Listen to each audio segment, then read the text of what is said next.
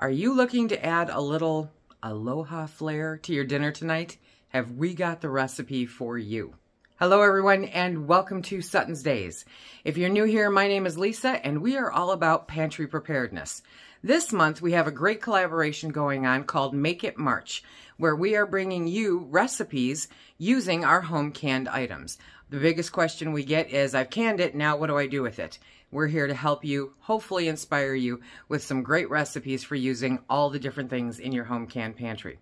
Today we're doing Hawaiian pork. It is so simple, so good, super fast dinner. Let's get going. There will be a link to a recipe down below that you can print off. So I'm not going to spend a whole bunch of time going through all the measurements, but I'm using good old-fashioned minute rice. Yes, I am.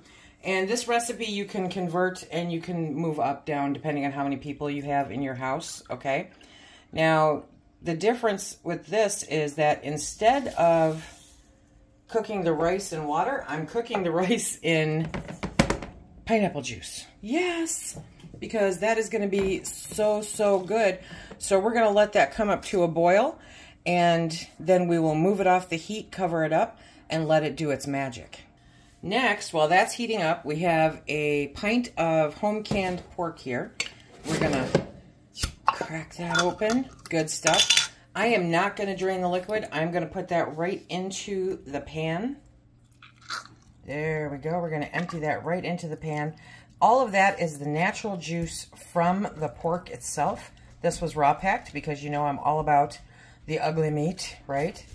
So we're going to get all of that out. You can hear Toby coming because he heard a jar open. It took him like no time to figure out what that means. So because it's pork, it does have some fat in there.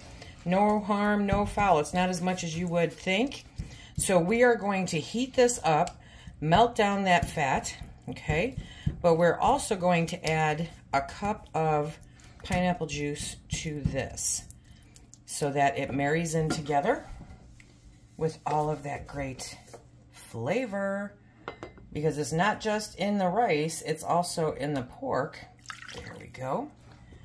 And this will create an amazing sauce that we're gonna cook down a little bit.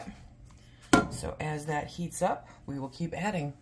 Next, we're gonna add in a tablespoon of brown sugar. Okay, just gonna add that flavor profile in there and we're going to add some soy sauce. Now, I get the reduced sodium soy sauce. Yes, I do, because it's good. And I don't need all that extra sodium. So we're going to add about a teaspoon in there. And then we're going to add some rice wine vinegar. And again, that's going to be about a tablespoon. And you can normally find that at, you know, Walmart, wherever you want.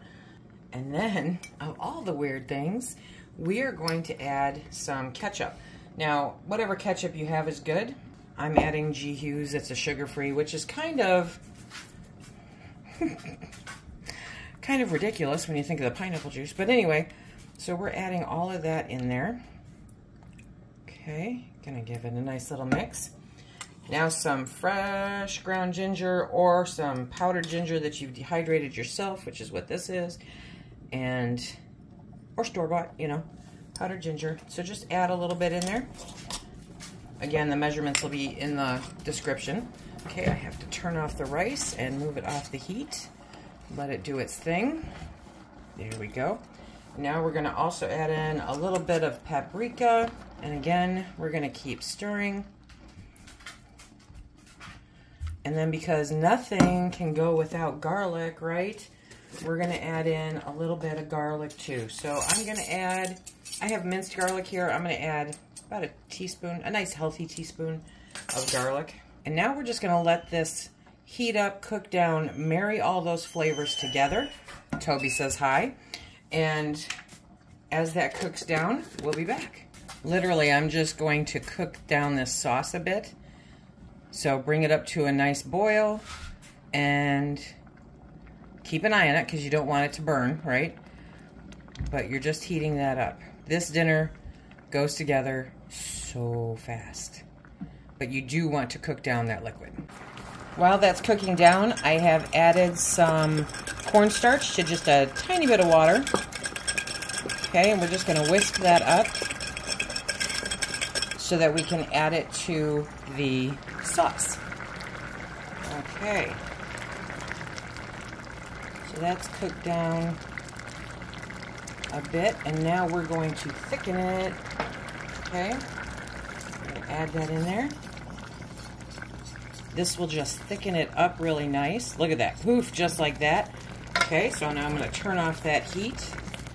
This smells so good. Okay, I'm going to move it off the heat. We let the rice do its thing. Look at that. It soaked up the pineapple juice. That's going to be... Oh, yes. Okay. Smells so good. Excuse me while I get my nose out of the rice.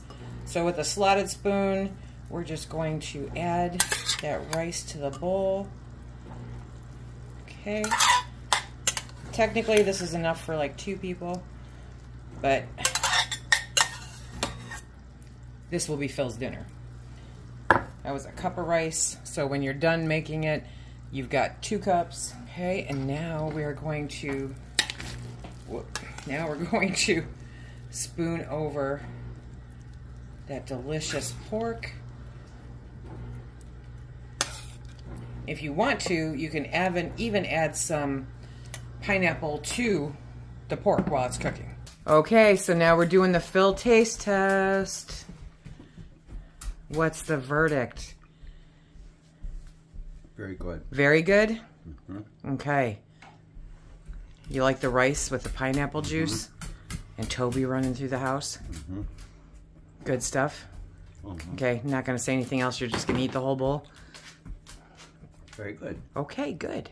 Dinner in 10 minutes, tops, 10 minutes. Absolutely delicious. It is so good. The pineapple juice in the rice, oh, yeah, it's not too much. It takes away that super sweet, you know. But if you want to know how to can your own pork, check out this video. Until next time, everybody, be safe.